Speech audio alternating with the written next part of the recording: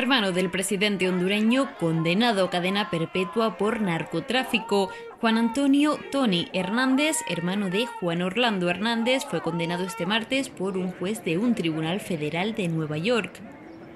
Tony Hernández, diputado en el Congreso hondureño entre 2014 y 2018, fue detenido el 23 de noviembre de 2018 en el aeropuerto de Miami y declarado culpable en un tribunal de Nueva York el 18 de octubre de 2019 por traficar cocaína con destino a Estados Unidos, posesión de armas y mentir a las autoridades estadounidenses.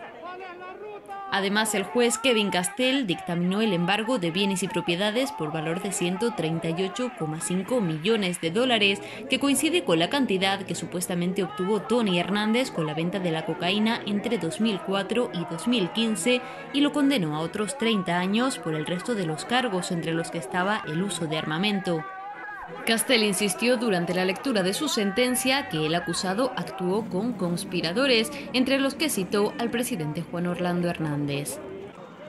Durante la visita, el abogado Peter Brill solicitó en primer lugar un aplazamiento de la sentencia, que fue denegada por el juez y anunció que presentará una apelación. Tony Hernández tomó la palabra antes de escuchar la sentencia para insistir en dicho aplazamiento y recriminar a su abogado por lo que consideró una mala representación. En su comparecencia, la Fiscalía recriminó a Tony Hernández y lo calificó de arrogante por su intervención, asegurando que en lugar de mostrar remordimiento por sus actos, se queja de los abogados.